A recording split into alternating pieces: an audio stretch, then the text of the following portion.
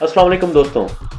क्या वजह है कि जानवरों के बच्चे पैदा होते ही चलने फिरने और ख़ुद को फ़ीड करने के काबिल होते हैं?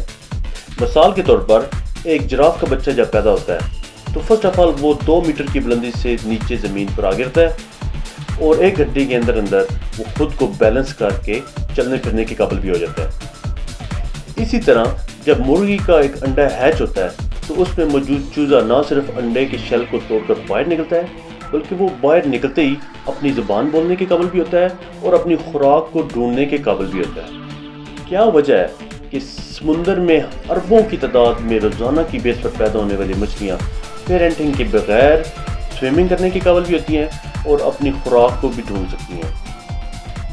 लेकिन इंसान के बच्चे बिल्कुल इसके बरक्स होते हैं। ऐसा क्यों है? आइए जानते हैं इस वीडियो में।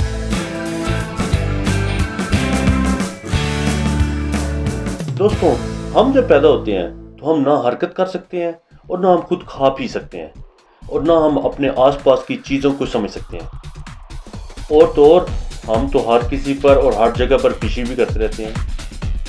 Thanks to the best invention of the nappies we finally overcome that problem सोचने की बात है कि अगर इंसान इतना जहीन है तो हमारे बच्चे इतने डम क्यों होते हैं?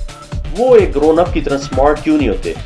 रिसर्च से पता चलता है कि हमारे बच्चों की पैदाइश के वक्त हमारा ब्रेन कम्प्लीटली डेवलप नहीं होता, बल्कि वो इमेच्योरिटी की ऐसी स्टेज पर होता है जहाँ वो पैदाइश से पहले थे। और इंसान की पैदाइश के बाद भी बच्चे की मुकम्मल तौर पर देखभाल करना ज़रूरी होती है, जबकि बहुत से जानवरों के बच्चों का ब्रेन काफ़ी हद तक बर्थ से पहले तक मेच्योर हो चुका होता है। वो फौरी तौर पर बैलेंस करने और अपनी खुराक को फाइंड करने के काबिल होते हैं।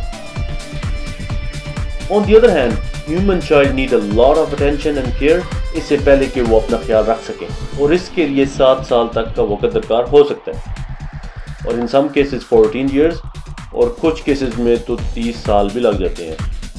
कमेंट सेक्शन में ज़रूर कमेंट करके बताइएगा कि आपको अपना ख्याल रखने में कितना टाइम लगा। दोस्तों, शर्मिंदा होने की बात नहीं है।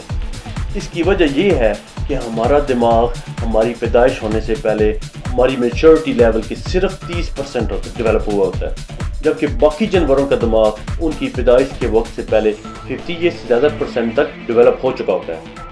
साइंटिस्ट का मानना है कि इंसान के दिमाग का छोटा रह जाने की वजह उसकी खुराक की डिमांड और इंसानी जिसम की तोानाई पैदा करने की सलाहियत पर है। हमारी एनर्जी जनरेट करने के लिए एक लिमिट होती है, जिसे हम फिट रहकर बढ़ा तो सकते हैं, लेकिन उस पर ओवरकम नहीं कर सकते।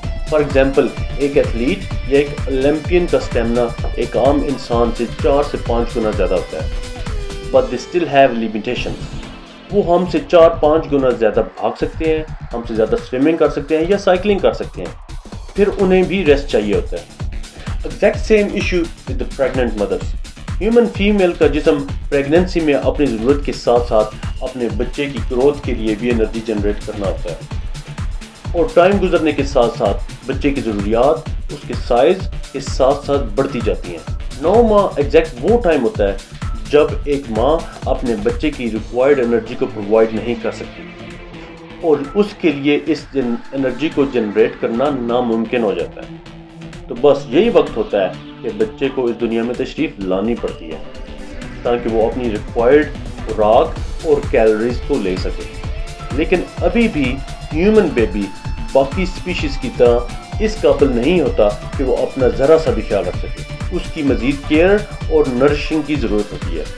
उसे मौसम से, बीमारियों से और दीगर रोज़मर्रा की चीज़ों से प्रोटेक्शन चाहिए होती है। साइंटिफिकली तो इस बात को माना गया है कि इंसानी दिमाग 25 साल तक डेवलप होता रहता है और वो अपने मैक्सिमम साइज़ और एबिलिटी पर होता है। इसका मतलब है कि मैं लास्ट साल अपनी जानत के मैक्सिमम लेवल पर anyway, एक और बड़ी इंटरेस्टिंग थ्योरी हमारे ब्रेन की डेवलपमेंट और बढ़ने के बारे में है। वो ये कि इंसानी दिमाग एज के साथ साथ 25 साल तक बढ़ता तो है बल्कि वो जेनेटिकली इम्प्रूव भी करता जा रहा है। उसकी एक वजह हमारी लॉन्ग टर्म पेरेंटिंग होती है। इंसान पत्थरों के ज़माने से अपने बच्चों की इंटेलिजेंस को ना सिर्फ़ इम्प्रूव कर रहा है बल्कि उसको अगली जनरेशन को ट्रांसफ़र भी किया जा रहा है। यही वजह है कि आज ह्यूमन माइंड इतना इम्प्रूव हो चुका है कि हम आजकल टिकटॉक पर वीडियोज़ भी बनाने लग पड़े हैं। आ ओनली जॉकिंग असल जहानत तो यूट्यूब वीडियोस बनाने में है। दोस्तों, उम्मीद है कि आपको इस वीडियो का कंटेंट पसंद आया होगा। अगर ऐसा है तो थम्स अप ज़रूर कीजिएगा और कमेंट सेक्शन में अपनी राय का इजहार कीजिएगा।